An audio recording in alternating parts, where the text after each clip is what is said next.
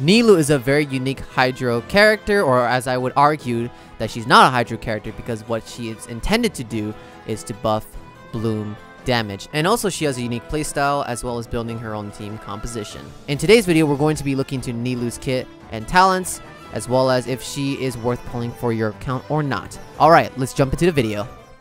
Hey yo, what is going on guys? Welcome back to another Genshin Impact video and you guys like the intro? I might add that kind of stuff into the videos nowadays. But anyways, we got our little dancing queen right here and we're obviously, like what I said before, we're going to be breaking down her kit. So, without further ado, let's go into her talents. Okay, so Here's Nilou's stats. So this is what I'm running with Nilou. As you can see, she has 57k HP. Reason why it's super high is because I have Hydro Resonance. So roughly she would probably have about like 55k-ish HP. But still, that is her stats overall. You may notice her EM as well as her HP is quite high. If you look at my stats here, crit ratio isn't the biggest deal because we'll get into the reason why. All that matters for Nilou as you can probably notice, is you want to stack up as much HP as possible. Elemental Mastery also helps. So, here is her gear. I'm running Iron Sting. This is a free-to-play craftable weapon that you can craft already when you start off in the game. And for her artifacts, I'm currently running with 2-piece Gilded Dreams and 2-piece Tenacity. I think the 2-piece Gilded Dreams might be replaced eventually with the 2-piece new HP set that's coming out because more HP will give her more bloom scaling damage. But basically, if we go into her talents real quick, very unique character, but very simple in terms of her design. So obviously, if you notice her normal attacks, you don't, you never upgrade these at all. Uh, even if you're gonna do physical damage, I mean, don't even bother. Her skill and burst is actually, what's interesting about it is you don't really need to upgrade her talents. But let's just individually break down what each of the skill does, and obviously what the burst does. So, the dance of the Havskarkarsvar, the dance of the Havskarkarsvar, I don't know if I pronounced that, I'm sorry about that. So, basically what it does is she has two ways of using her elemental skill. When you keep pressing her E, or her elemental skill, she'll do a different dance move. Or when you press E once, and then you do normal attacks instead, it'll also do two different types of dance moves. I know it sounds a little bit complicated, but I'll try to make it as simple as possible. Basically, you can use it two ways. We can keep pressing her elemental skill, or you keep, keep pressing her normal attacks, and at the result, it'll create a different kind of effect you can actually mix up the combination as well, which I will get deep into it in the end of this video. Whenever you use in three stances, Nilou's third dance step, so basically the third time you use her skill, will have a different effect, which is what I mentioned before. So basically, whenever you tap her elemental skill, that's when it will create is more of a hydro aura that's going to be surrounding around her. Kind of like Barbara's elemental skill. And if you just keep pressing normal attacks with Nilou, it'll basically infuse all of her normal attacks into hydro damage. You cannot do any charge or plunge attack in that infusion. As you can see, there are many playstyles you could use with her elemental skill. However, there is a recommended playstyle that I will go more into depth at the end of this video. So, as you can see, the scaling wise, it is basically her best talent to upgrade if you want to increase her damage. However, you don't really necessarily need to upgrade this much in terms of investment because what I mentioned at the very beginning of this video is that she's more of a team buffer rather than a DPS. If we go into her skill damage, sword dance, whirling, uh, steps, right? Basically, this just increases every time she uses her steps, and then here's a duration as well. As you can see, both stances have their own duration. So with the first one, Lunar Prayer duration, that's the normal attack infusion, has about 8 seconds, and the Tranquility Aura duration has about 12 seconds, and the cooldown is 18 seconds. So, now for Elemental Burst, it's very straightforward. She does AoE Hydro damage. It applies Hydro to all opponents affected by her burst, and it'll take twice of Hydro damage consecutively. So, yeah, pretty simple. Uh, has decent amount of scaling as well since she again scales with HP. This has a lot. And yeah, that's about it.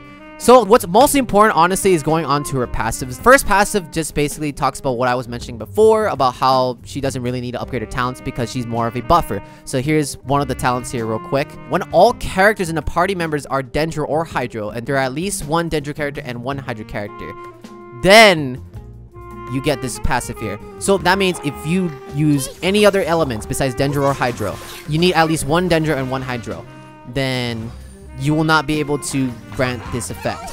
That's what is the controversial part about Nilou at the time when she was released. Nilou at the time, she was kind of considered one of the most niche characters and she was extremely restrictive as well. She's still arguably restrictive as of right now, but ever since her first debut release, till now, Nilou has a lot more Dendro options and a lot of Hydro options as well.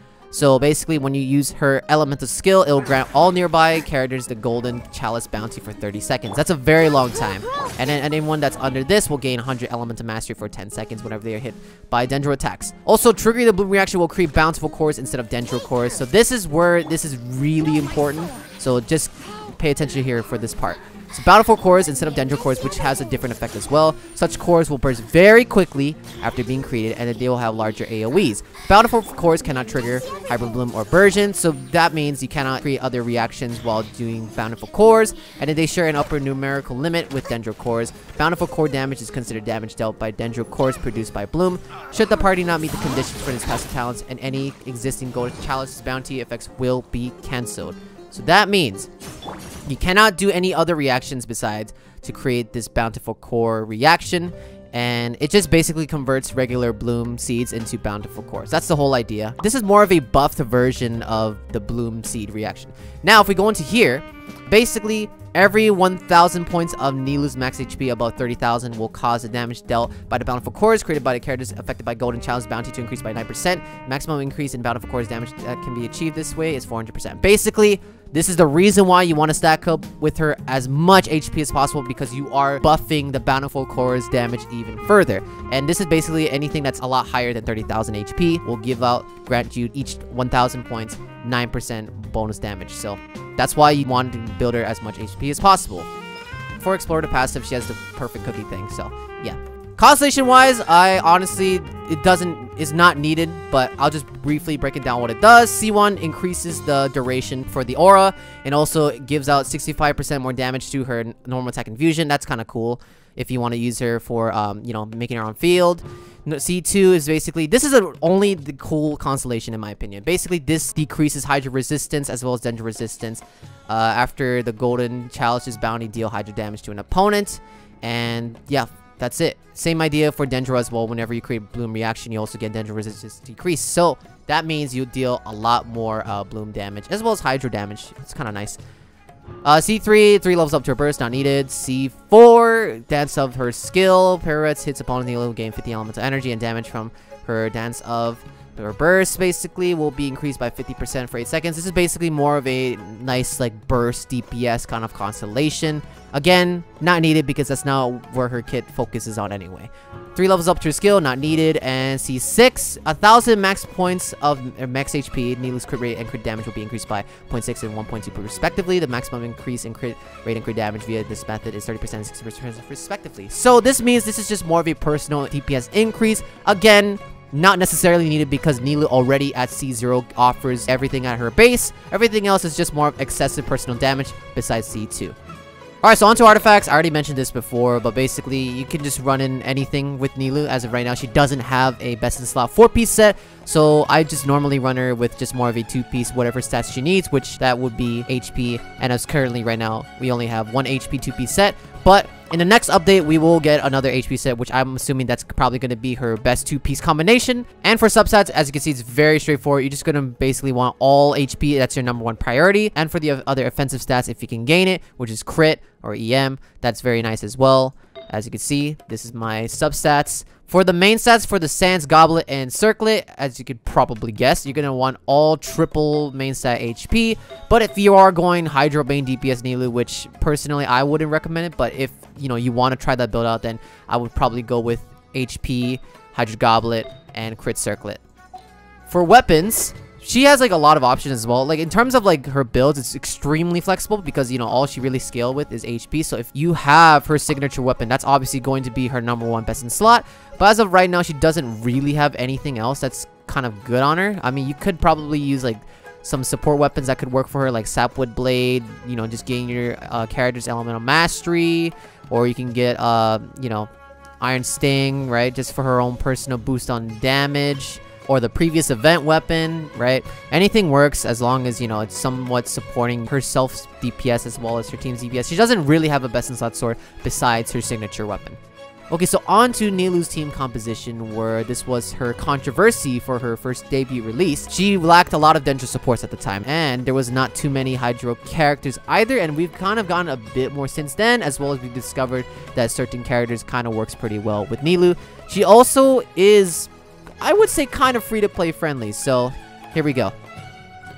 So there's a lot of options. In my personal number one recommendation for Dendro support, it's gonna be Nahida. Like Nahida, I mean, she's pretty much going to be literally on every single Dendro team. So maybe you know if you have a stronger Dendro team that's better than your Nilou team, then you know you have you want some other options, right? So we have a lot of options. My second option would probably be Dendro Traveler. He has a lot of good Dendro application off field. He's also really great for like endless waves of opponents that just keep spawning as long as you know the opponents are inside the Dendro field from his elemental burst. That's basically it. He's an off-field Dendro applicator, but he gets the job pretty done in a solid fashion. Another option I would say is Yaoyao. She is a Dendro healer. She's also very powerful in terms of whenever she heals. Only when she's in her elemental burst though, but when it, with her elemental skill wise, Dendro application kind of does lack a lot and healing wise is not as much compared to her burst so she is kind of like a character where you want to keep using her burst every time but once you get her burst, it's a lot of Dendro application at once, plus a lot of healings to recover from Nilou's Bountiful Cores, because again, the Bountiful Cores deal self-damage Dendro Explosion, which your characters actually can take a lot of damage. So that's why, whenever it comes to Nilou's team composition, you actually want at least one healer in there so that, you know, you don't die from your own Dendro Core Explosion. So then, now on to other Dendro supports. We also have, you can use Collei as well. Pretty much any Dendro character fits in here. Although Collei, in my opinion, is probably the least you want to use because, you know, Collei's has a little bit short duration for her Elemental Burst. Also, she has some ICD issue as well. But other than that, she is still a flex option if you need one more Dendro member on your team party member, then you can use that.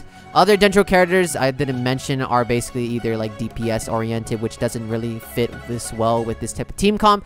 Basically, the whole idea for the Dendro members, as long as they can apply Dendro. That's the whole idea, is as long as they apply Dendro, or offer some sort of defensive utility, then they work pretty well.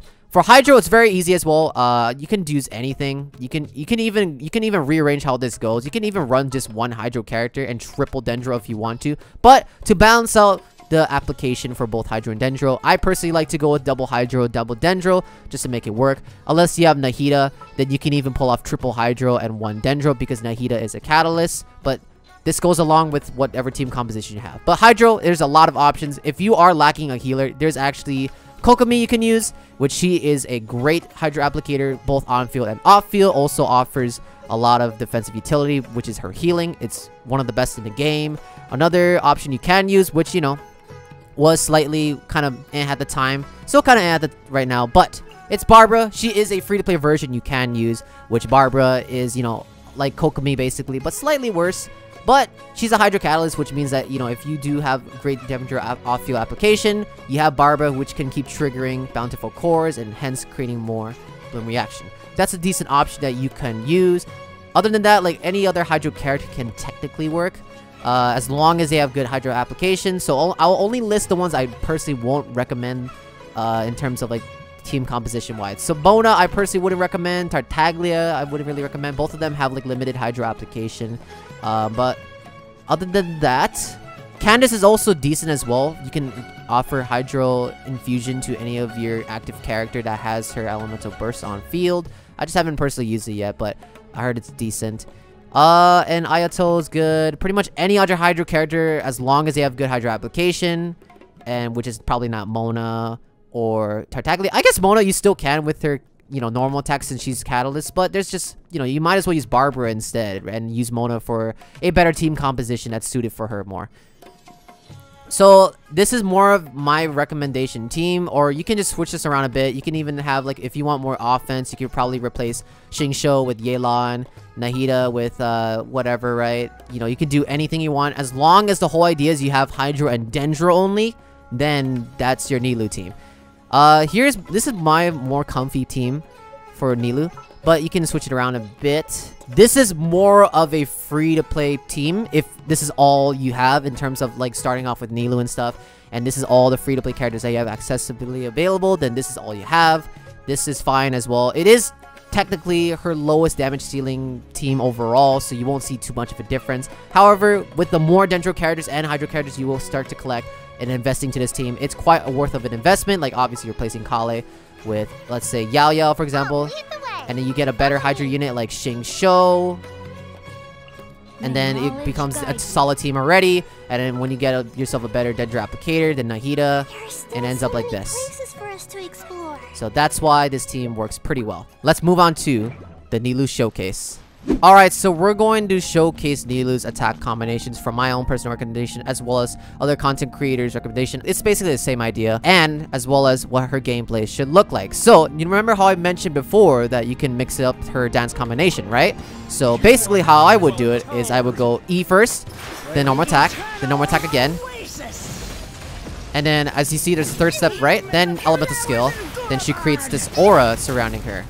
So this is what you want to do. In my personal experience, you would rarely use her normal attack infusion. That means, you know, in order to get the normal attack infusion, you have to complete her third final step to gain that last, you know, effect you want, right? Which is either normal attack infusion or her elemental skill aura thing. Let me do a series showcase real quick. So this is how it would normally go.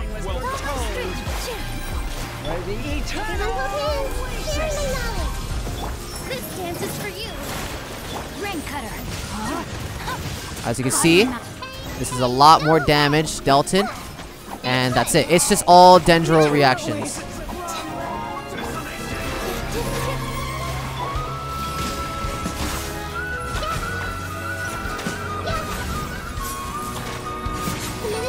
And as you can see, it is that simple. Even with single target too, because of how fast you're able to generate her cores, it's actually pretty solid for a single target as well, as you can see. Okay, so overall, that was Nilou's gameplay as well as her talents. So, the question is, is she worth pulling for? The answer is, this depends on your personal playstyle as well as your current financial status on your account. Which, what I mean by that is, of course, your Primogems. If you want Nilou, which, by the way, she's definitely worth it. Uh, but if you want Nilou, she is going to be a very strong Dendro buffer option that you can use as well. She's going to be a very solid character to add in your team. Just a very, very unique playstyle that you might yourself have to get used to. Make sure, obviously, before you summon the character, you try them out in the character trial first before you summon for the character. But if you like her playstyle, as well as you are very interested in her unique playstyle and gameplay, then she is a very cool option to get. She's going to get better and better, only better and better, especially when there's more Dendro characters coming too, like Baizhu and Kaveh, which seems to be, you know, more Nilou team options that they can add in there as well. Then Nilou is just only going to get better and better at this point. Summon for her if you want her. Uh, just keep in mind that she has a very, very strict team building restriction because of how her talents work. But what she does in her own niche is very powerful. So overall, Nilou's very awesome. So if you guys enjoyed this video, make sure you guys hit that like button as well subscribe to the channel for more of this type of content. And other than that, that's all I got. Thank you all so much for watching, and as always, until next time, stay epic and peace out.